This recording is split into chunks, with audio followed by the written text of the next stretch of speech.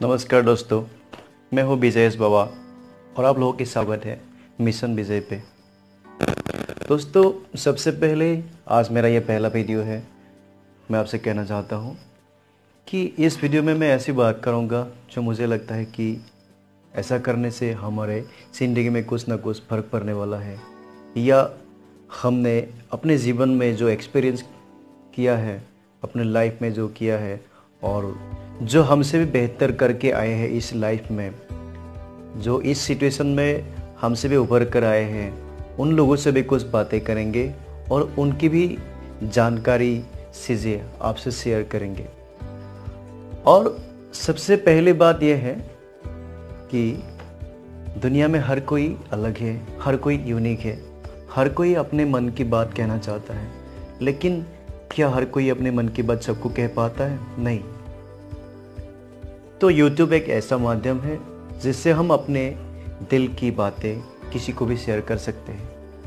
जो जिसको हमारी बातें अच्छी लगे, वो हमारे बातें लाइक कर सकते हैं। जिसको अच्छे नहीं डिसलाइक कर सकते हैं। और हमारे सोच विचार कितने लोगों के साथ मिलते हैं, क्या गलत है, क्या सही है, इसके माध्यम से भी हम अपने सोच विचार को दुनिया के सामने रख सकते हैं। तो इतना बढ़िया अगर माध्यम हमारे पास है तो हम क्यों ना आए इस YouTube में? यही मेरा कारण है इस YouTube में आने की। वे पहले बात करते हैं खुशियाँ। खुशियाँ क्या है? खुशियाँ क्या एक एहसास है? जी नहीं, खुशियाँ सिर्फ़ एक एहसास ही नहीं। खुशियाँ एक ऐसी चीज़ है मतलब मन की खुशी, मन की शांति एक ऐसी चीज़ है, जो हम छोटी छोटी चीज़ों में हम ढूंढ सकते हैं। तो क्या हुआ?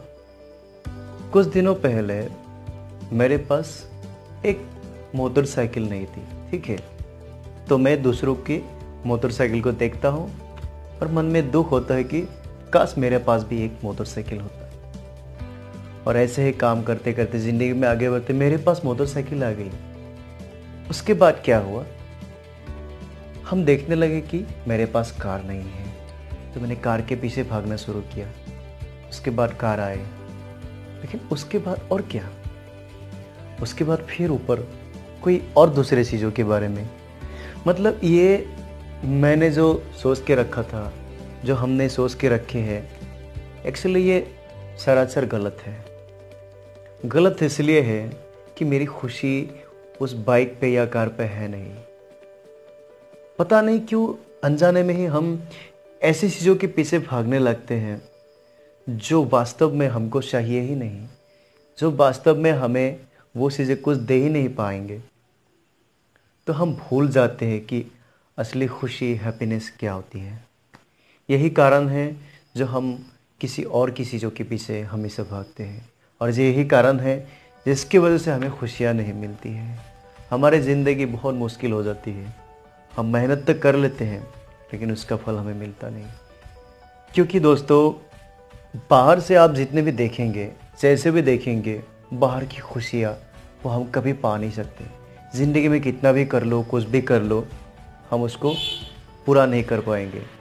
लेकिन अगर हमने अंदर की खुशियाँ पा ली, जो मन की शांति पा ली, तब समझिए कि हमने सब कुछ पा ली।